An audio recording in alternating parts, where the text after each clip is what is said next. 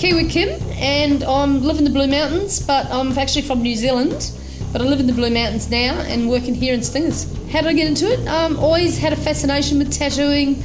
Um, my first childhood memory when I was a little baby or a little toddler was a tattoo on, was a tattoo on my father's arm, and he was um, he had a friend who was a tattoo artist.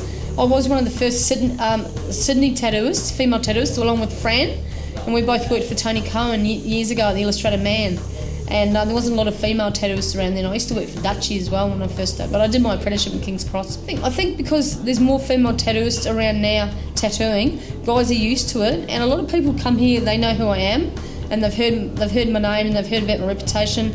And I also have a lot of photos of my work to show people first. Um, I think it's important that people get something that's meaningful to them, but some people just like to get tattoos because they like the picture. They just like the, the design, they just like the pattern. Um, but a lot of people want to get something that's meaningful. A lot of people want to get family sort of stuff like coat of arms, or they want to get children's names, or they want to get, you know, true love tattoos and stuff like that. But it just depends on the person. A lot of people get names.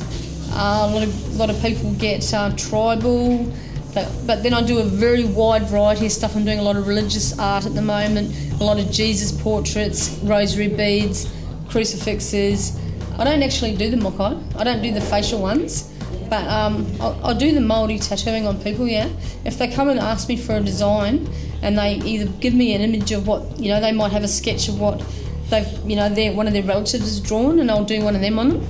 Or um, I've got a, quite a lot of uh, extensive reference books uh, of Māori tattooing because whenever I go back to New Zealand I always collect Māori um, tattoo books and so I've got a lot of reference material too and sometimes people just bring in a picture of something similar and they want something drawn up similar quite similar, but you know.